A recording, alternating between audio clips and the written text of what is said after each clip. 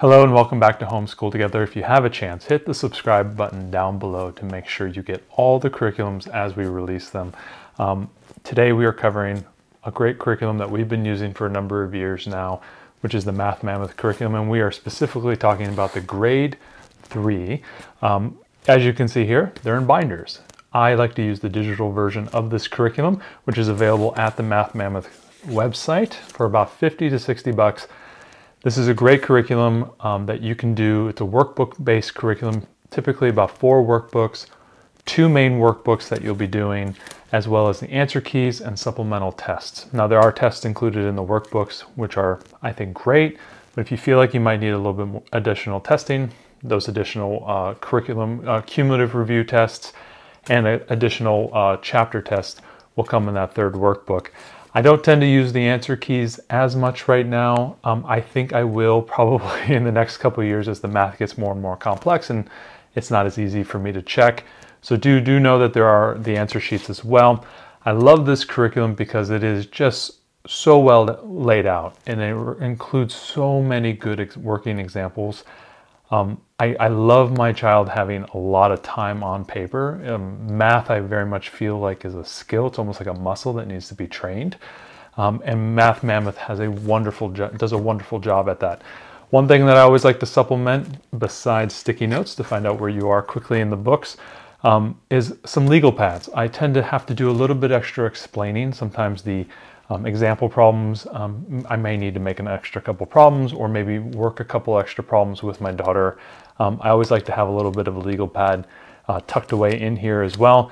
Another thing that I had to do with this level of curriculum was to include a multiplication table because this is where we get into a lot of multiplication and division. So level three is addition and subtraction. We got some clocks, we got some clockwork, we got some money work, but where the, the time you're going to be spending here is a lot of multiplication. And at the end, we cover a lot of division and a lot of fractions right at the end. So it, it's all coming together now uh, in the grade three curriculum. So if you have a chance, hang on and we'll go ahead and, and take a look inside. So here we go. We've got two workbooks, the grade 3A workbook and the grade 3B workbook. Um, obviously I print off these curriculums print the front pages, put them into the binder, and I use those. So here we have a nice little list of what is covered in this curriculum. We have an addition and subtraction. We, we, we expand on that. Uh, multiplication concepts, multiplication tables, clock money, place value up to the thousands, do a little bit of geometry, a little bit of measurement, but really where, where it lies is the synergy between learning your multiplication tables, being comfortable with multiplication, and then having that manifest in division and we touch on fractions at the end. So a lot is covered in a math in this math mammoth level, um, which has been building over the over the levels um, to this point. So let's go ahead and hop in. You can get a good look of what a um, uh, a work text looks like. So basically we are looking at, obviously I have my fraction chart here. I think in my other book I have my multiplication table. This is just a simple little chart I printed off online drives home the concept of the whole number with the, uh, the various fractions. Um, this was something, a nice little reference that I always like to keep as well as the multiplication tables, just as a quick reference for my daughter if she has a quick question or maybe she hasn't really committed all those that information to her memory, she can obviously reference these. At the beginning of every um, Math Mammoth curriculum, they, they do a nice layout of the chapters, what chapters are going to be covered and what the various concepts will be covered as well. You can see there's many sections um, within each chapter and the first book covers up to chapter five. There's in front of every single chapter there's a nice foreword. Um, this was the foreword at the beginning of the book. The beginning of each chapter is a nice layout of all the concepts you're going to be covering as well as a further layout of what concepts are being taught and how many pages those concepts cover. Cool thing about Math Mammoth, especially very helpful in the digital version, is all these live links. Um, if you have uh, additional questions or your learner needs a little bit more learning or wants to play a game, maybe an online game, Math Mammoth provides you a great job at um, uh, provides a great opportunity for you to to have further learning. If you want to, you know, have your have your student go and you know drive home a certain concept, they provide those here for you. I really like this as a, as a service provided, and it keeps going here as well to rounding and charts. Now, first chapter one, obviously we're doing some a little bit of a review from uh, um, grade two as we come into grade three. For us, we homeschool all year round, so we, we do not take very long breaks between our math curriculums, typically week or two. Um, I typically use Math Mammoth as a review curriculum. You could use it as your sole curriculum. Um, when I complete a math curriculum, I will then use Math Mammoth to drive home that mastery um, because it allows my, my learner to have a little bit more free time. So what I tend to do is I assign her a couple pages and then I go and let her go do those. And she comes back, lets me check that work. Um, or if she has a question, she can come to me. One of the things that I like to do, um, especially at this level, is expecting my learner to begin to, to read the descriptions of the section of what is required. Math Mammoth does a great job at including a lot, a lot, a lot of word problems. And I'll show you a number of those as we move on. Obviously, just very simple uh, uh, mental addition here, that, that concept that they're talking about, some more mental subtraction. Really getting the child's brain being able to do math quickly. Now, it's kind of funny because as adults, we, we don't do a lot of this. We'll just open up our phone, hit the calculator. So I found this to be very helpful for her to, to really understand what she's doing, understanding the relationship of numbers, understanding what the operators are looking for, and being able to move quickly. Um, when we start to get into upper grades of math, we're going to be leveraging a lot of these concepts, whether it's math or division or multiplication. Um, we need to be able to do those fast, otherwise we get bogged down when we are asked to do more complex things. I love how this is driving home that mastery. Let's go ahead and take a look at this first chapter was actually kind of funny because it was actually very long. Um, it's almost, I think, 60, 70 pages long was the first chapter. So yeah, it felt like a lot of review right up at the end. We even covered PEMDAS here a little bit. Here we go. Here's a good example of some word problems that were done. Um, I do not, yeah, here's another good one here as well. Um, my child had to learn to read these problems, understand what is what is being asked for. I think that's one of the hard things when it comes to word problems is really understanding what is needed. Um, getting those skills and getting that repetition, I think, is great, and Math Mammoth does a really good job of that here. Um, let's go ahead and hop into, say, let's see, what chapters here, multiplication. So this is the big one, obviously, starting to cover multiplication. They do it in a very progressive way where they're introducing, you know, multiplications of four, multiplications of 10. Um, filling out the chart. Now this, I felt um, there was a lot of this work and this would take a long time and I, I, I could see my learner kind of getting tired of doing the repetitive work. Um, so a lot of times I would just have her, you know, do one section or a couple lines of the multiplication table because I just felt like she was getting a little tired of it. Um, here I had her do the whole thing, um, but I think I found it found to be a lot of work for her. So as we move through the multiplication work, here it is again, I made her do the whole chart, but eventually I just had her do whatever the um, table that we're covering at that time. So here obviously we're doing by sixes, and here I'm asking her, okay, just do the sixes, and maybe sometimes I'll ask her to do maybe the half, half sixes, which are the threes. So if she can get, you know, the sixes down and maybe the threes, and eventually you're just filling this chart out in, through memorization, but also understanding that we have a lot of tricks, whether it's the tens or the 11s, the nines, where we can do with our fingers. Ones are obviously straightforward. Filling out a lot of this chart just by intuition is really helpful so that we can focus on the memorization kind of in this quadrant, which is where the challenge uh, often lies. Multiplications by nine, we kind of skipped some sections here, just a couple sections. Um, you'll, you will notice in, uh, at, within the chapters there are these things called puzzle corners. Um, depending on where you are in, the, in, in your lesson, I, I found I was doing about two to three pages a day with my daughter. A lot of times the puzzle corners kind of came at the end and I kind of just let her you know, she just didn't have to do those. They can be very challenging. Um, so I, it just wasn't something that I wanted her to do every single time, only periodically. So here you go again. We have uh, the sixes and sevens I asked her to do. Uh, here fours and eights. So four, but then half eights are fours. And so if you can memorize those, you can see nice relationships between the two. Again, 11s and 12s we did here. Came back into telling time, but my, my daughter kind of has a good understanding of time now. So I just had her kind of breeze through this section.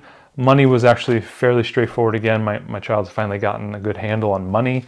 Um, so these sections were actually fairly quick. I'll go ahead and hop into uh, book two, where we talk a little bit more about place value and geometry. So obviously these are place values up to a thousand. So now we're starting to think about thousands. One of the things that I like to do, especially in this section of the book, was I was asking her to read these numbers. Um, there's a there's a a really great skill that has to be developed, which is can you read numbers quickly without you know having to guess. Okay, how many places are they? Oh, that's a thousand. Now it's two thousand. Oh, that's five hundred. You know, being able to look at that and say, oh, that's twenty five hundred or two thousand five hundred, and being able to to read these numbers quickly. This was a, a skill that I was asking her to do a lot of. Um, moving beyond, let me just show you a little bit of the of the division work that came up. So chapter nine came into the division, and then we'll go ahead and show you one of the, uh, the tests here at the end. One of the cool things about the division work is that there's a lot of word problems. The division almost was like a, a heavy word problem uh, option. Almost in every single page we had we had this kind of groupings. Now one of the things that I was always driving home, which was division and multiplication are just kind of the, the inverses of themselves very similar to how uh, addition and subtraction can also be inverses of themselves. Division is the same. So instead of worrying about like, well, what was 16 divided by 4, sometimes I'm thinking, well, what is what times 4 gives you 16? Oh, okay. So she can think in both directions was very helpful. And it was also a way for me to drive home the mastery of the multiplication tables. Really good, really cool skills. Um, even got a little bit into long division right at the end covering remainder. So we even get into the, the where, where, most division problems have remainders. Um, they don't have nice round numbers. So they started covering that there at the end. And then here we have, oh, basically a mixed review uh, at the end of the chapter. So that's a good example. I'll go ahead and, and find here a, a, nice test for you. So I have a good one here on uh, chapter six. Uh, very often we will have a kind of a mixed review at the end of the, of the chapter, which kind of touches on a little bit of the topics from, the, from that chapter um, and a little bit of skills that came from before. There was some Roman numerals that was covered, and I did not um, have my daughter worry too much about that. Whenever I hit Roman numerals, I kind of just exit out and we skip those sections. Didn't really feel that that was a skill she absolutely needed to know. So that was something I was just going to pass on. Once you finish the mixed review, you have the final review of chapter six. And what's cool is, is these reviews are typically about two pages long and I use these as my tests. So like what I end up doing is say on day A, on the first day, say it's a Wednesday, I will I will do the mixed review work with her as kind of like a you know as a normal effort that we do where I'm working through the problems and helping her and we're discussing the problems. The following day, say it's that was a Wednesday, this is now a Thursday, I would actually have her do this as an exam where I would actually give her the these two pages and say, okay, you have to, you know, uh, run through these problems. You have to read the descriptions. If there is a question, you can ask me, but I'm not going to help you do the answers. At the end, I'll, I'll, grade them, and if you get you know something wrong, I'll I will um, allow you to fix that. Another thing you can do as well when you buy the online curriculum is use the additional supplemental tests. I did not use the supplemental tests for this run of the curriculum. Uh, we had a lot of breakups of, of uh, we were on travel and we had some activities that we had to do I was really just using this as a mastery. I was really focusing mainly on getting her to the multiplication and the division sections because I thought those were the skills she needed to work the most on. So I didn't really do these additional tests or the cumulative tests here. Um, I have done those in the past. Um, and those can help you if you need some additional testing or if you have an assessment requirement for your homeschool. Those final tests are really nice to have um, so that you can then do that, that whatever reporting you may need. Um, but here we finish the review. She goes ahead and finishes these problems. Uh, give you a nice grid there to do some of your math. That is basically how I do an exam. If she did a good job, we go ahead and move right on. Obviously, the next chapter here is uh, geometry, but it's fairly straightforward. Hopping forward into the uh, fractions area. Obviously, we have a little bit of fraction. Ah, there's that pencil I was looking for. Um, and also here you see also my, my multiplication table, which um, I tuck into uh, the, the, page here. So I, I use this very extensively. During this grade, I would often give her the multiplication table for her to use, especially on the day-to-day -day, um, activities, but sometimes I would take it away and ask her to use her skills and, and use the tools that she has in her tool belt um, in order to solve these problems. Um, so the use of the multiplication printout table is to your discretion. There's no, um, I think, right or wrong way, um, but I do like having that available in case she needs it. Uh, here's a little bit of a fraction work. It was pretty straightforward. Um, it was pretty straightforward work here um, with respect to fractions. I think we are getting geared up for decimals and then the obviously the long division was kind of teased. I'm excited to see what is in grade four. I hope that walkthrough of the Math Mammoth grade three curriculum helped you um, understanding what is in the curriculum, seeing what those uh, problems look like. Obviously you can see as we were moving through those pages in both workbooks, both work texts, there is just an incredible amount of problems. And what I like about Math Mammoth is that those problems are new. Almost every single page has a, a different problem. There's not a lot of repeating. Obviously, there are some things of you know, multiplication and you're doing a lot of problems. But I thought that the um, word problems were incredibly creative. Um, they very rarely repeated themselves. It was great creativity. Um, playing a little bit with the language um, so the, the learner has to think about you know, what are they actually asking for it was super helpful, super good. I'm really, I really love this curriculum, especially the digital option. It just allows you to print it off, especially if you have larger families. I found that I was doing about two to three pages a day, about a half hour to do those two to three pages. Um, some days are a little bit longer if your learner's having a little bit more of a rougher day. Sometimes they were shorter if it was an easier section. I didn't go more than that um, unless it was a fairly easy skill that my daughter knew, uh, was pretty comfortable with and maybe we do four pages but two to four pages two to three pages i think is a good limit. If it's the first time you're going through the curriculum don't be afraid that you may only get a page done every day. The two workbooks i think took us about three or four months to do. Um, so you can imagine that was our second time through this, these concepts. So for your learner you may go a little bit slower and that's absolutely fine. Um, i love the price point about 50 60 bucks for the entire section if you get the digital curriculum and you have multiple children, especially if it's your first child and you got a, you got one in the wings coming up, like I do, um, it's great to have the digital versions that you can print off um, and amortize that that cost across multiple children. That's a really nice thing. I didn't use as much abacus work in this uh, this one, and we did not have as much manipulative needs. It was mainly the legal pad and a pencil, really doing a lot of that extra heavy lifting. And those obviously those print off sheets of the multiplication table and the fraction chart. I found those to be very helpful just to always have in, in the binder in case my child needs a quick reference. I'm thinking about putting together another kind of like maybe just general reference of like addition and subtraction problems that maybe she can reference um, in case she gets stuck.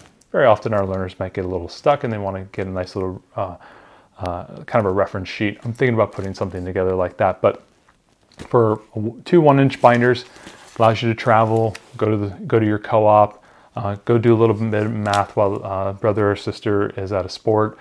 I love to take these on the road. I love these as a mastery. If it's your only math curriculum, you cannot go wrong with Math Mammoth.